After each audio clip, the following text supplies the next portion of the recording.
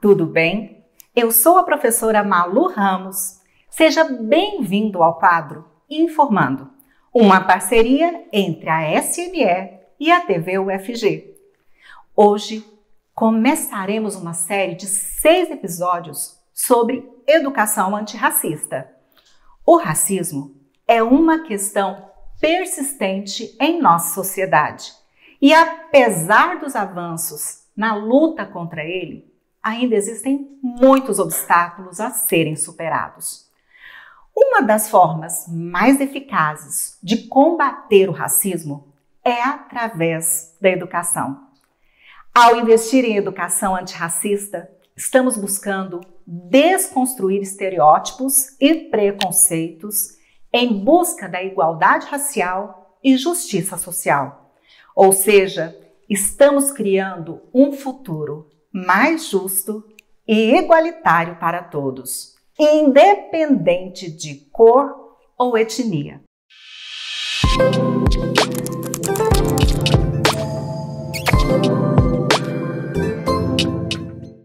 E para nos ajudar a refletir um pouco mais sobre o assunto, a nossa nova integrante do quadro Informando, TT Ribeiro, irá entrevistar a professora Carolina de Carmo Castro, que é graduada em Pedagogia e História, mestre e doutora em História e atualmente atua na Gerência de Educação Fundamental e no Núcleo de Estudos Afro-Brasileiros e Indígenas da Rede Municipal de Ensino de Goiânia. Oi, Malu! Que bom fazer parte desse programa com você, aqui do Informando. Super honrada aqui. Minha estreia e já com uma responsabilidade tão importante e tão bacana para a gente falar também. Vamos falar um pouquinho de racismo e como a gente pode combater essa questão dia após dia na sala de aula, eu vou conversar com quem entende do assunto, a Carolina Castro, que é da Gerência de Educação Fundamental. Muito obrigada por essa primeira cobertura fora, né, do estúdio, do Informando, do NEC. Obrigada, Carol. Eu que agradeço pela oportunidade, TT. E é muito bom falar sobre esse assunto. Mas aí, Carol, olha, nas televisões, nos jornais, nas revistas, a gente ouve falar muito de racismo estrutural. E quando a gente fala de estrutura, a gente pensa, sei lá, num primeiro pavimento, num segundo pavimento. É mais ou menos assim. O que seria esse racismo estrutural que a gente precisa ficar de olho nas escolas? A gente precisa entender primeiro o que é racismo. E aí é importante a gente trazer algumas referências. E aí eu trago comigo uma abordagem bastante interessante que o Silvio Almeida traz no seu livro Racismo Estrutural, que ele classifica de uma forma bem didática, bem tranquila, os tipos de racismo e suas dimensões. Ele fala que existe o racismo individual, o racismo institucional e o racismo estrutural. Então, no racismo individual, que é aquele que é praticado pelas pessoas, né, no seu coletivo, na sua individualidade, por meio da discriminação racial, a gente vê muitas vezes, né, nas mídias, por meio de ofensas, xingamentos, a gente vivencia isso o tempo todo na nossa sociedade. Nós temos também o racismo institucional, que ele é revelado por meio de espaços públicos ou privados, no qual alguns grupos considerados privilegiados por sua cor, eles têm condições, né, lugares de tomada de decisão que têm privilégios indeterminados de outros que são considerados subalternizados.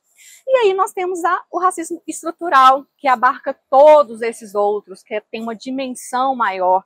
Por isso que você falou, né, TT, que existem aí esses diálogos, né, essa estrutura toda maior. E a partir de então, a gente tem essa concepção em que é organizada a nossa sociedade. Então, quando a gente fala de racismo estrutural, nós estamos falando de uma estrutura que está enraizada na nossa sociedade. E é importante de ser discutida. Então, quando a gente tem, por exemplo, na nossa sociedade, alguns lugares, algumas instituições, como o Legislativo, o Ministério Público, Judiciário, é, diretorias de grandes empresas que têm o branco, o homem, né, nesses lugares de poder, a gente precisa de pensar que o negro, a mulher, ela precisa de ter essa representatividade este lugar de fala para que nós possamos mudar essas situações. Silvio Almeida fala, a gente não pode normalizar essas situações pensando que existem índices que revelam o tempo todo que quando a gente fala do negro, por exemplo, o negro ele aparece com na educação, por exemplo, nos maiores índices da taxa de analfabetismo. Quando a gente fala da população carcerária, onde estão os negros? Estão nesses maiores índices. Então, tudo isso a gente precisa de elucidar, discutir, debater, para que esse racismo estrutural ele seja sim discutido, seja debatido, e a gente possa, a partir da nossa discussão, reverter essa situação e não normalizar. Muito boa essa sua fala, e aí você falou, você citou Silvio Almeida, e eu vou citar o Darcy Ribeiro, que fala sobre a importância da construção de escolas e não de presídios, uhum. né? Agora, falando de escola, lá, na sala de aula, como o professor, a professora pode trabalhar lá, mas não só o professor e a professora, a gente, a gente precisa entender, Malu, e para você que está assistindo a gente, que é uma comunidade escolar. Como essa comunidade, pessoal que tá, trabalha na merenda, administrativos, como é que todo mundo pode agir para diminuir e acabar com esse racismo estrutural lá dentro dos muros das escolas e quem sabe até lá na comunicação dos grupos de WhatsApp.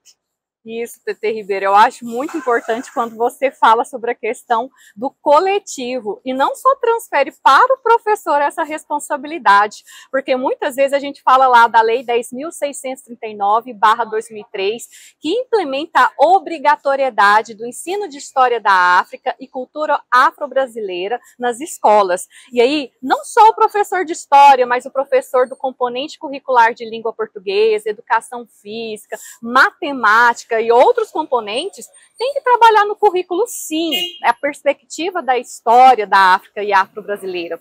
E aí, não só o professor, mas todo o coletivo, desde a pessoa que está lá na portaria, atendendo essa criança, atendendo esse estudante, como também o pessoal na cozinha, o coordenador pedagógico, o diretor dessa escola, tem que ter leitura e compreensão da educação antirracista. O que é essa educação antirracista? É uma educação que promove a leitura, promove a discussão, promove o debate de possibilidades de leitura. E além da leitura, práticas que vão promover a discussão de combate ao preconceito, de respeito a essa diversidade, e muitas vezes isso vai fazer muita diferença no cotidiano escolar. E isso é tão bom quando a gente percebe dentro do cotidiano escolar, TT, quando a gente chega na escola e vê um mural com personagens negras, muito quando bom, a gente percebe bom. na literatura que o professor escolhe no seu cotidiano personagens principais nos livros e não secundários, personagens negras, isso é muito importante. Quando a gente fala do afroletramento, é justamente isso. Você trazer o personagem negro como principal, como referência, para aquela criança que está lá lendo com a professora em sala de aula, se enxergar, ter um momento de pensar, poxa, eu posso ser uma médica, eu posso ser uma jornalista, eu posso ser sim uma pessoa que faz a diferença na sociedade no qual eu pertenço. Isso é muito importante. Então é isso, são nossos espaços educativos, a gente tentar trazer a possibilidade, a partir da nossa discussão, a partir da nossa prática, de transformar a realidade que a gente vive. Carol, e tem também uma outra questão que eu gostaria de trazer com você, porque geralmente a gente trabalha o Dia da Consciência Negra lá no dia 20 de novembro, uhum. né? Então, ah, não, eu vou trabalhar, já que tá lá no PPP, que eu vou trabalhar no dia 20 de novembro, então eu vou deixar para trabalhar isso lá.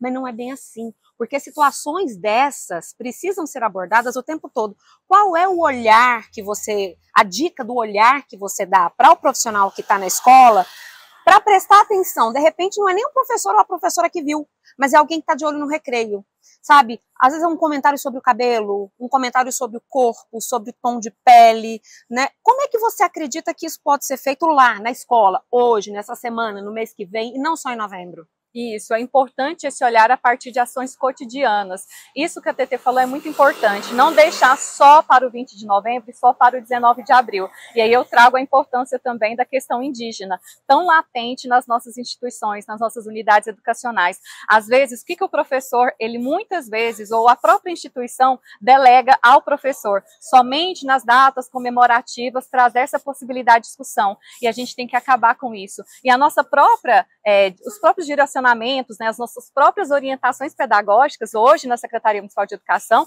ela traz essa perspectiva de desconstruir e reduzir a, as nossas temáticas, aí eu falo tanto afro-brasileiras quanto as indígenas, em datas comemorativas. Então, através do projeto de trabalho, a partir da própria, própria o próprio DCGO, né, ele traz é. essa possibilidade do currículo, a partir do planejamento desse professor, a partir das ações cotidianas, ele ter esse olhar, eu posso sim trabalhar, se eu vi, se eu percebi, é ali que eu vou dialogar, é ali que eu vou linkar e vou fazer com que eu trabalhe essa possibilidade e faça diferença no meu cotidiano com o meu aluno.